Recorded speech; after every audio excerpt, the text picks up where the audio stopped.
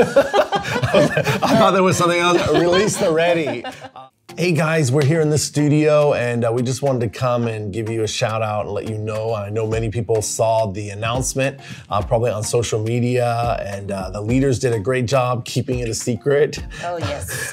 it was so tough to keep it a secret. It was. did it. They did well, and uh, we actually had our 10th anniversary celebration um, last Sunday.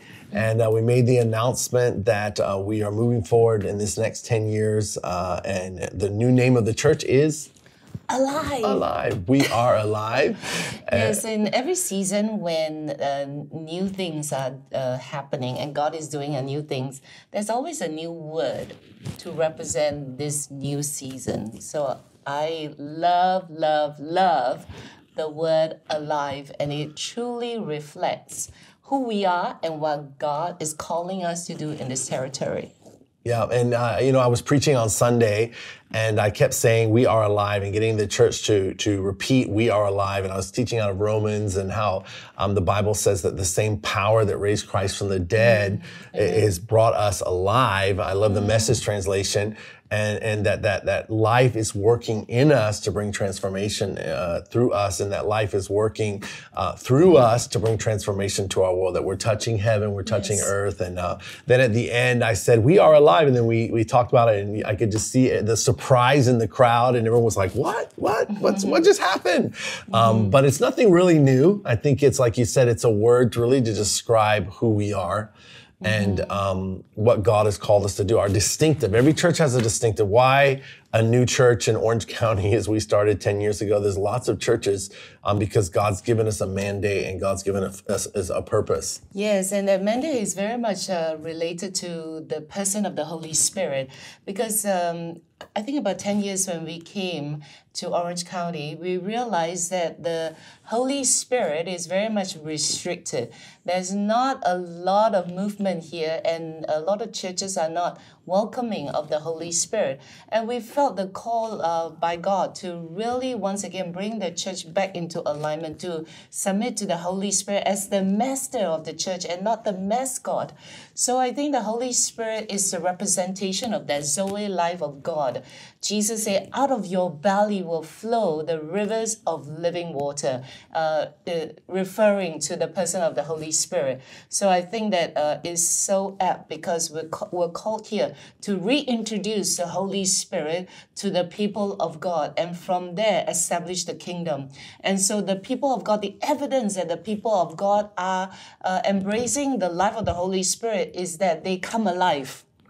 They come alive in their passion for Christ. They come alive in their love for the body of Christ. They come alive uh, to activate their giftings so that they can appropriately build the kingdom of God where the king will be exalted. Yeah, and and, and uh, you know, this year we started out with a time of prayer and fasting, and uh, had 21 days of prayer and fasting, and in that we were just kind of going deeper. And okay, God, as we come into um, this new year, and every year we we want to seek God for the year, but also there was a, a, also a greater weight and seriousness I felt because not only we're we coming into a new year, we're coming into 10 years. Uh, as a church, and so um, really started going back. God, who are we? Um, what is our distinctive? Who has God really called us to be as a church? And um, what defines that? Are we still City Harvest Church? Yes, we are. We're still all about the harvest, um, but we're much more than just wanting to just reach the city or or grow and, and have numbers. I mean, we're in a place where there's many mega churches out there, and the harvest is part of that. But there was uh, three words that really came up, and it was reach, equip, and release. And so as we started going and praying, um, the thing that God really put in our heart is that we want to, to re- uh, reach the world, which speaks of reaching our city, reaching, of course, the Great Commission, and then also equip the willing. Because not everyone's wanting, willing to be equipped. Not everyone's willing and wanting to really be trained and discipled and, and come into purpose. Some people, they just want to go to church and they don't want anyone involved in their lives, and that's where they're at. But we're probably not the right church for those people. So we want, want to begin to, to come into those that are willing and begin to equip the willing, and then what? Release the ready. As we're trained and equipped, uh, uh, you know, Ephesians 4 says the fivefold ministry, the apostles, prophet, evangelist, pastor, teacher, equips the saints to do the work of the ministry. Sometimes we get it backwards in the church and we're hiring staff and the church staff do all the, the ministry, but we're, we're not that kind of church. We're a church where we want to minimize our staff, minimize salaries, and uh, raise up volunteer leaders, raise up lay leaders, raise up members where every member is a minister so that we can begin to release them into their ministries. Yeah, and uh, that reminded me of uh, a couple of years ago when uh, I think Pastor Mike Connell was the one who came, and uh, when he was uh, preaching in church and he gave us a word, remember he said that I see this word hub, that God has called uh, City Harvest during that time with City Harvest to be a hub where we will train and equip the apostles, the prophets, the evangelists, the teacher, and the pastors uh, to raise them up and equip the body of Christ. And he see us as a center to train uh, all these people that will come in uh, and train them up in the fivefold ministry. So I think that it, it is uh, so relevant, these three words, and so on point, speaks to us about who we are called to be. We are really called to be people who will equip the willing and to release, Release the The ready.